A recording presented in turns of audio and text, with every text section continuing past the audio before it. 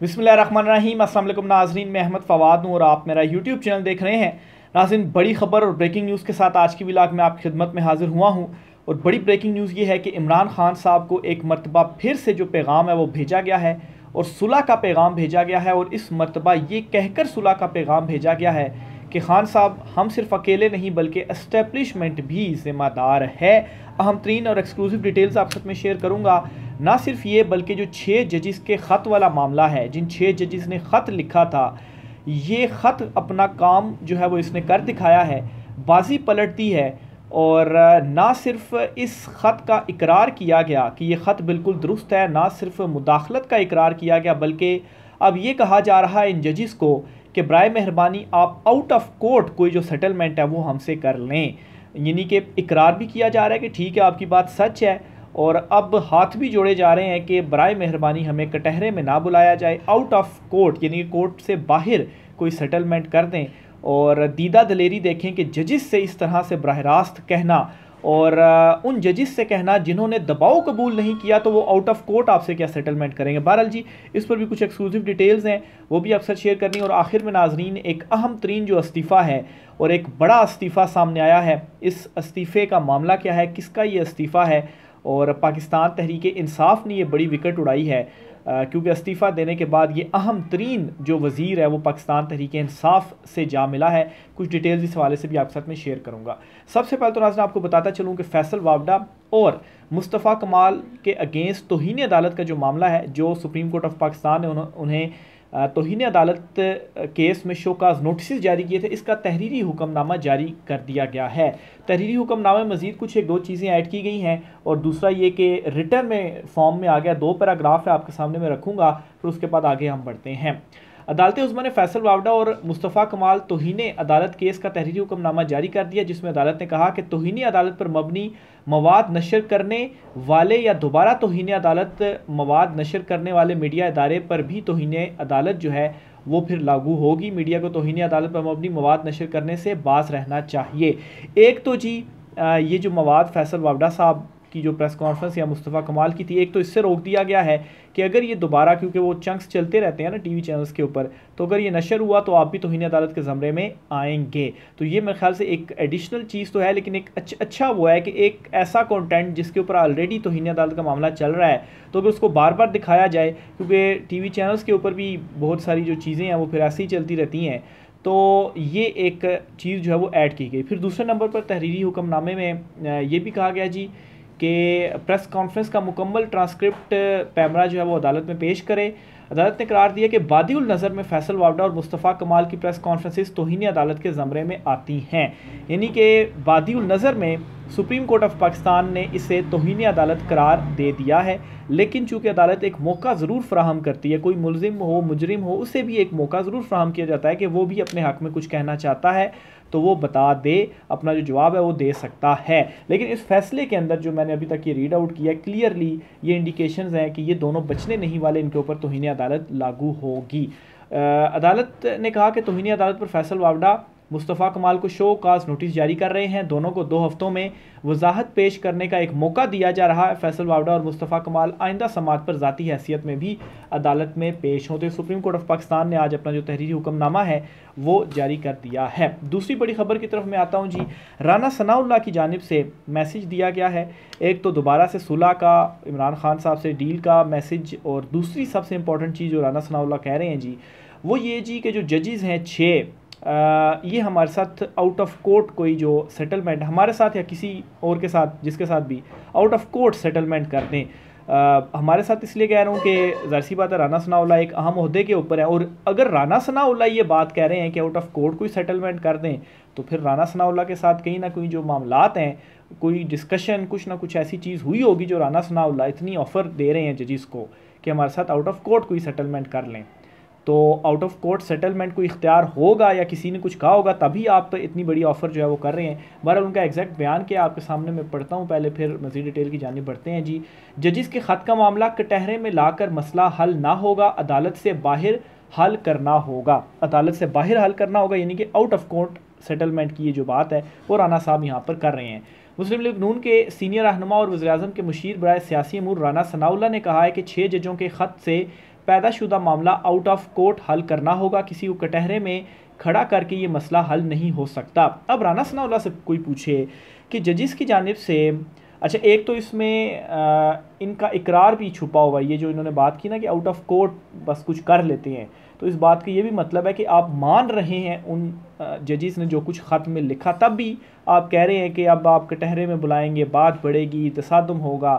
باہر سے کوئی نہ کوئی معاملات جو ہیں وہ ٹھیک کر لیتے ہیں۔ برل ایک چیز تو کلیئر ہے، جن ججز نے دباؤ قبول نہیں کیا، انہوں نے لیٹر لکھا، تو وہ ججز کیا خاک باہر جا کر آؤٹ آف کورٹ کچھ کریں گے؟ وہ ایسا کچھ بھی نہیں کرنے والے۔ وہ اپنا جو ان کا ایک پرنسپل سٹینڈ ہے، جو بہادری انہوں نے دکھائی ہے، وہ اس چیز کے اوپر کھڑے ہوئے ہیں۔ بہرحال اب رانا ثناء اللہ کے اوپر سوال یہ پیدا ہوتا ہے کہ ان ججز میں، نے جو اس لیٹر میں لکھا، آپ کا ان لیٹر میں لکھے گئے کنٹینٹ سے کیا تعلق ہے؟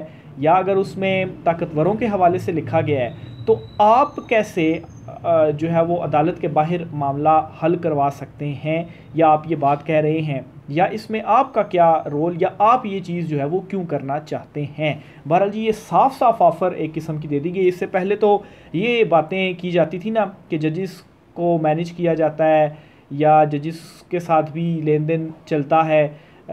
لیکن بند کمروں میں چلتا ہے، اس طرح کی باتیں ہوتی تھی اب تو یہ ٹی وی کیمروں کے سامنے رانا ثناء اللہ صاحب جو ہیں اس قسم کی باتیں کر رہے ہیں۔ کیوں کر رہے ہیں؟ کیونکہ اب ان کے ہاتھ سے چیزیں نکل چکی ہیں اور چیزیں خاص طور پر عدالتی لیول کے اوپر، عدلیہ جوڈیشری کے اندر ان سے مینج نہیں ہو پا رہی۔ انہوں نے مزید کہا ہے جی کہ حل اس کے سوا کوئی نہیں کہ ادارے اور لوگ ایک جگہ بیٹھ کر یہ معاملہ سلجھائیں۔ رانا ثناء اللہ کا کہنا تھا کہ وزیر اعظم سوچ رہے ہیں کہ اس معاملے پر صدر کو ایڈوائس کریں کہ وہ اپنا کردار ادا کریں۔ اب صدر کو ایڈوائس کریں گے وزیر اعظم، بھائی دیکھیں، مداخلت کا کہا ہے جوڈیشری کی جانب سے جو لیٹر لکھا گیا ہے، تو اس مداخلت کو ختم کیا جائے۔ تب معاملہ حل ہو جائے گا۔ اب پاس بٹھا کر، ساتھ بٹھا کر ایک کمرے میں آپ کیا حل کروانا چاہتے ہیں؟ کوئی ایسی بات تو نہیں ہے کہ بلکہ جو کیس تھا وہ چھ ججز کی اپوائنمنٹ والا، جو chief justice Lahore high court ہیں جنہوں نے آج مریم اورنگزیب جو ہیں وہ بھی عدالت میں پیش ہوئی تھیں اور chief justice Lahore high court نے نام بھیجے ہوئے ہیں اسپیشل کورٹس میں ججز کی تعیناتی کے لیے، ان چھ ججوں کو وہ اپروو نہیں کر رہی پنجاب حکومت۔ اور وہاں پر مریم نوا، اورنگزیب اوپن کورٹ میں یہ کہہ رہی ہیں جی کہ آپ ہمارے ساتھ کوئی چیمبر میں ملاقات کر لیں، ہمیں کوئی ٹائم دے دیں، تو چیف صاحب نے کہا کہ یہ اوپن کورٹ ہے، یہاں پر بات کر لیں اور ٹائم کس چیز کا دے دیں اور کیا بات آپ نے کرنی ہے۔ قانون کیا کہتا ہے، آئین کیا کہتا ہے، اس کے اندر لکھا ہوا ہے کہ ججز نام بھیجیں گے، آپ نے ان کو تعینات کرنا ہے چیف جسٹس نام بھیجیں گے، آپ نے تعینات کیوں نہیں کیا؟ اور اس پر جو جواب ہے وہ طلب کر لیا گیا۔ بہرحال یہ جو جسٹس منیر یا قیوم، جسٹس قیوم جو ایک آڈیو بھی لیک ہوئی تھی شہباز شریف کی، تو پہلے تو یہ بند کمروں میں یا بیک ڈور یہ چیزیں ان ان کے حوالے سے گفتگو ہوتی تھی، لیکن اب تو اوپنلی یہ ججوں کو ہی سیدھا سیدھا آفرے کر رہے ہیں کہ لو دو کرو اور بس معاملے کو ختم کرو۔ وزیر اعظم کے مشیر نے مزید کہا کہ ان کی وزیر اعظم سے بات ہوئی ہے۔ وزیر اعظم کا یہ خیال ہے کہ اس طرح معاملات چلتے رہے تو ملک کو بہتری کی طرف کیسے لے جایا جا سکتا ہے؟ تو اصل مسئلہ یہ ہے کہ ملک کی بہتری کو نہیں آپ کی جو حکومت ہے وہ پھر قائم نہیں رہ پائے گی۔ کیونکہ سب کو معلوم ہے، form forty five, form forty seven, election tribunal میں معاملات چلے گئے ہیں، ججز آ گئے انڈیپینڈنٹ، انہوں نے فیصلے دے دیے تو حکومت آپ کی کیسے قائم رہے گی؟ تو یہ رانا ثناء اللہ صاحب ہیں جی جو یہ بات کر رہے ہیں۔ پھر رانا ثناء اللہ نے ایک اور بڑا جو اعتراف ہے وہ کیا ہے۔ اور انہوں نے یہ کہا ہے کہ ملک میں اداروں کے درمیان محاذ آرائی کا قصوروار کوئی ایک سیاستدان، عدلیہ اور اسٹیبلشمنٹ کوئی ایک کوئی ایک نہیں، سیاستدان، عدلیہ اور اسٹیبلشمنٹ تینوں ہیں۔ وزیر اعظم اداروں کے درمیان ٹکراؤ کی کیفیت کو ختم کرنے کے لیے صدر مملکت کو ایڈوائس بھیجنے کا سوچ رہے ہیں۔ یعنی کہ یہاں پر جی اسٹیبلشمنٹ اور عدلیہ کا بھی نام انہوں نے لے لیا ہے کہ یہ جو محاذ آرائی ہے، اس کی ذمہ دار پھر اسٹیبلشمنٹ بھی ہے اور پھر عدلیہ بھی ہے۔ تو یہ ڈائریکٹ رانا ثناء اللہ جو ہیں اب دوسری طرف کے بھی جو نام ہے وہ لینا شروع ہو چکے ہیں۔ تو یہ تو جی ان کی جو حالت ہے وہ اس وقت ہو چکی ہے۔ عمران خان صاحب کے حوالے سے اطلاعات سامنے آ رہی ہیں۔ بخبر حلقوں کا یہ دعویٰ ہے کہ خان صاحب کو پھر کوئی میسیج بھیجا گیا صلح کا۔ بہرحال عمران خان صاحب کی جانب سے یہ بات کلیئر ہے کہ جو عوامی مینڈیٹ ہے وہ پہلے واپس ملے گا اور پھر اس کے بعد کی جو بات چیت ہے وہ کی جا سکتی ہے۔ لیکن ایسا نہیں ہوگا کہ کوئی این آر او آپ مانگیں اور وہ این آر او میں آپ کو دے دوں۔ اس طرح ہرگز نہیں ہونے والا۔ رانا ثناء کی ہی ایک اور بیان بھی ہے وہ بھی آپ کے سامنے میں رکھتا ہوں، آج رانا ثناء کی کافی بات گفتگو ہوگی۔ بہرحال، انہوں نے کیونکہ کچھ امپورٹنٹ باتیں کہی ہیں، اس لیے آپ کے سامنے میں رکھ رہا ہوں۔ اچھا رانا ثناء نے علی امین گنڈا پور کو کوٹ کرتے ہوئے کہا ہے کہ علی امین گنڈا پور صرف ہوائی فائرنگ کرتے ہیں، انہوں نے کرنا کچھ نہیں ہے۔ اچھا علی امین گنڈا پور جو ہیں، انہوں نے کلیئر جو سٹینس ہے وہ لیا ہوا ہے، خاص طور پر جو گندم والا معاملہ ہے یا وفاق نے جو پیسے وغیرہ دینے ہیں اس معاملے کے اوپر اور سخت جو تقریر ہے، جو گفتگو ہے، وہ بھی علی امین گنڈا پور کی جانب سے کی جا رہی ہے اور اس گفتگو میں وہ یہی کہہ رہے ہیں کہ جو رائٹ ہے ہمارا صوبے کا وہ دیا جائے اور پھر گندم کی خریداری کے حوالے سے بھی۔ تو اس پر اب رانا ثناء اللہ یہ کہتے ہیں جی کہ مطلب ہے کہ ایک قسم کی یہ بات بھڑکانے کی مترادف ہے کہ علی امین گنڈا پور ہوائی فائرنگ کر رہا ہے۔ اور اصل میں انہوں نے کچھ کرنا نہیں ہے۔ بہرحال جی ان کی اس غلط فہمی کو بھی دور کیے دیتے ہیں۔ یہ ایک بیان اصل میں میں نکال رہا ہوں نجم سیٹھی صاحب کا۔ وہ آپ کے ساتھ میں نے شیئر کرنا ہے۔ اچھا نجم سیٹھی صاحب کہتے ہیں کہ علی امین گنڈا پور صحیح کہہ رہے ہیں۔ صوبے کے جو پیسے ہیں، ان کو ملنے چاہیے۔ جتنی عزت باقی چیف منسٹرز کو ملتی ہے، اتنی ان کو بھی ملنی چاہیے۔ گورنر صاحب دھمکیاں مت دیں۔ ان کی کوئی حیثیت نہیں ہے۔ یہ نوے کی دہائی نہیں ہے۔ گنڈا پور کے پیچھے عوامی طاقت ہے، یہ ایک جذبہ ہے۔ تو ایک بات تو رانا ثناء اللہ صاحب، آپ یہ اپنے ذہن میں کلیئر کر لیں کہ علی امین گنڈا پور کے پیچھے عوام ہے۔ پھر نجم سیٹ صاحب یہ بھی کہتے ہیں کہ آزاد کشمیر میں جو حالات تھے، وہ ان سے سنبھالے نہیں گئے۔ تو اگر کے پی میں اس طرز کے حالات ہو جائیں ہو گئے، تو آپ بھول جائیں کہ ان سے وہ حالات سنبھلیں گے۔ تو اس لیے رانا ثناء اللہ صاحب، آپ یہ جو بھڑکے ہیں، وہ مارنا چھوڑ دیں۔ علی امین گنڈا پور اگر بات کر رہے ہیں، تو وہ بالکل صحیح بات کر رہے ہیں۔ اور اس طرح کی جو بیان بازی ہے، اس سے خیر اجتناب بھی کرنا چاہیے۔ بہرحال جی کیا پتہ نہیں یہ سوچتے ہیں اور کس طرح سے یہ بیانات دیتے ہیں۔ ایک طرف تو صلح، صفائیاں مافیاں اور دوسری طرف اس قسم کی بھی جو چیزیں ہیں، وہ یہ کر رہے ہیں۔ بڑے استعفے کی بھی بات کرتے ہیں جی۔ وزیر قانون سہیل عباس جی بی انہوں نے استعفیٰ دے دیا ہے۔ اور یہ جی نون لیگ کی طرف، پی ڈی ایم کی طرف تھے اور استعفیٰ بھی انہوں نے اس لیے دیا ہے جی کہ یہ اب پی ڈی ایم کے ساتھ مزید چلنا نہیں چاہتے اور انہوں نے سنی اتحاد کونسل کے جو رہنما تھے وہاں پر ان سے ملاقات بھی کی ہے کیونکہ پی ٹی آئی سنی اتحاد کونسل دونوں اتحادی ہو گئے ہیں اور ان کے ساتھ یہ شامل ہو گئے ہیں اس معاملے کے اوپر کہ ان کے ساتھ مل کر اب یہ جو تحریک پاکستان تحریک انصاف کی ہے یا اس گورنمنٹ کے اگینسٹ جو ان کے سٹینڈز ہیں، ان کے ساتھ وہ کھڑے ہو گئے ہیں۔ تو یہ بڑا جھٹکا ہے، کیونکہ چھوٹا موٹا عہدہ نہیں تھا اور اتنے بڑے عہدے پر فائز شخصیت جو ہے اس طریقے سے چھوڑ کر اور شامل ہونا، پاکستان تحریک انصاف کی طرف جانا، تو یہ ایک بہت بڑی ڈیولپمنٹ ہوئی ہے۔ چونکہ ذرا جی بی والی سائٹ پر ہوئی ہے، اس لیے زیادہ اس کو ہائی لائٹ نہیں کیا جا رہا۔ اگر یہی پنجاب وغیرہ میں ہوتی تو بہت زیادہ اس کو ہائی لائٹ کیا جاتا، لیکن جی بی میں یہ ہوئی ہے تو وہاں پر بھی یہ ایک بہت بڑی ڈیولپمنٹ ہے۔ آخر میں ناظرین، آپ کے ساتھ خبر شیئر کرتا چلوں جی آرمی چیف صاحب کے حوالے سے جی۔ آرمی چیف نے قومی ہاکی ٹیم سے ملاقات کی ہے اور ان کی غیر معمولی کارکردگی پر ان کو سراہا ہے۔ اچھا جو ہماری ہاکی ٹیم ہے، ویسے تو ہمارا نیشنل کھیل ہے ہاکی لیکن ہاکی کو میرے خیال سے دہائیاں ہی گزر چکی ہیں کہ ہم انہیں بھول چکے ہیں اور اس وقت صرف اور صرف ایک کرکٹ ہے جس کا کریز ہے۔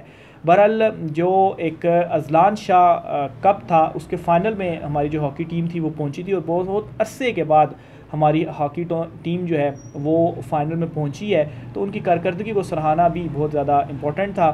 تو فائنل تو وہ ہار گئے تھے لیکن جی ایچ کیو میں تمام جو پلیئرز تھے ان کو بلایا گیا اور آرمی چیف آصم منیر صاحب کی جانب سے ازلان شاہ کپ میں شاندار کارکردگی دکھانے والی پاکستانی ہاکی ٹیم سے ملاقات کی گئی اور ان کی جو غیر معمولی پرفارمنس تھی، انہیں سراہا گیا جی۔ آئی ایس پی آر کے مطابق پاکستان ہاکی ٹیم کے کھلاڑی G H Q Rawalpindi پہنچے۔ اس موقع پر آرمی چیف آصم منیر نے قومی ہاکی ٹیم کا خیر مقدم کیا۔